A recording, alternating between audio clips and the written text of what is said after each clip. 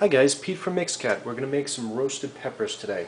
A pretty simple dish and I'm going to make it with some leftovers. I have some leftover rice, which you can see in the previous video, the one with the tilapia.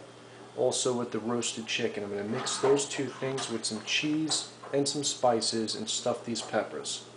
Really simple to do. What we're going to do is I'm going to take this yellow bell pepper and kind of cut down into the top. We're going to make a circle on the top and we're going to clean out the inside. In the inside you're going to have quite a bit of seeds. We're going to actually take these out and we're going to save them. Definitely a, a good idea to save those seeds, let them dry in a, a paper towel and it makes uh, for growing peppers real easy. There's all the seeds, nice and neat. To take out that, those seeds, just put down a uh, paper towel and just scrape it all into the paper towel. And they come out pretty easy. We're going to let this dry out for a couple days and I'm actually going to plant this in the backyard and uh, I'll have plenty more peppers. But definitely a great thing to do. Peppers are about a buck a piece in the store to two dollars a piece and um, you can grow a lot of peppers out of these seeds so you save money and it's healthier. Okay, now that the seeds are off, we got the top. All I do is kind of cut this part off on the top, um, make it nice and flat. That way we can really stuff this nice. You can see it's a pretty big pepper, so we'll pack that full of rice and the chicken and herbs and spices and let that bake in the oven like that. Simple enough. We got them all uh, de-seeded and the tops cut off so we can pack them.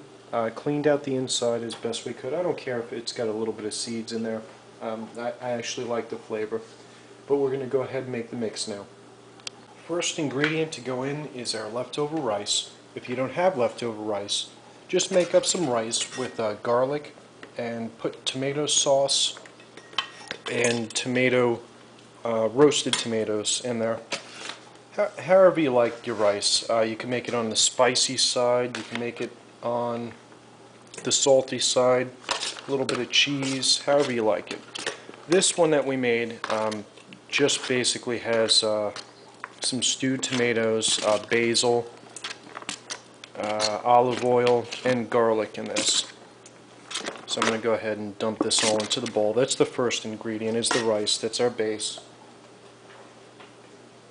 Next ingredient is a large scallion. Um, otherwise, two small scallions will work fine, and we're going to go ahead and mix that into it.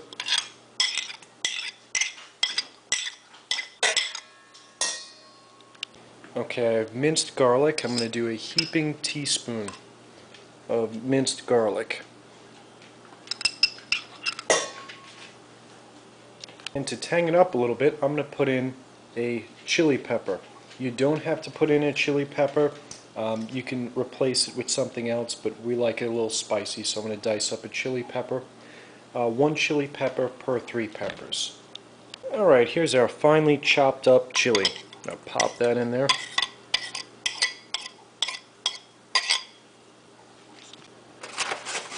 Next thing we're going to add is two eggs. This is to bind it up. There's one.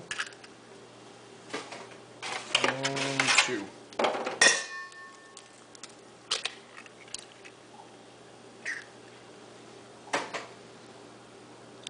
Okay, next ingredient is a little bit of Parmesan cheese, a couple shakes of that. There we go. And that's going to be mixed together. I'm going to put a little bit of salt and pepper, but that's pretty much done. You can add your chicken, chopped up chicken, ham, uh, whatever kind of meat you like, or you don't even have to put in meat. But after that's mixed up, I'm going to put a little bit of cheddar as well. There's what it looks like when it's mixed up. I'm going to put a little bit of black pepper, some salt, garlic powder, and a little bit of oregano and uh, paprika. Just uh, spice it as you like it. Okay, now that we put all our spices in there, we have black pepper, white pepper. White pepper is a pretty unique pepper. It gives it a great taste as well. Um, what I'm adding into it is Sargento um, Artisan Blend. Um, this is a couple different cheeses in one. Um, gives it a nice flavor and kind of binds everything together. When it uh, broils in the oven, gives it a fantastic flavor. It's about a half a cup of cheese, as you can see there. We're going to mix that in. And that's ready to stuff the peppers now. Now to stuff the peppers, I'm going to start with this uh, yellow bell pepper. Got a lot of space in here and let's go ahead and fill this to the top. Just shovel it in like so. Really easy meal. And just kind of pack it in there pretty good. Ah, there's a nice tomato on top. Beautiful. Smash that in there. Clean up the edges. And we put the cap back on there and just press it in. That's a stuffed pepper. There we are, they're stuffed. Um, we're going to put this in the oven for a little bit. Um, I'm going to put it on 375. I'm thinking this is probably going to take about 30 to 35 minutes to cook. I'm going to drizzle a little bit of olive oil on that and put a little salt and pepper on the outside just to season the outside. When I pull it out, I'm also making a, uh, a topping to go on top, kind of a little sauce.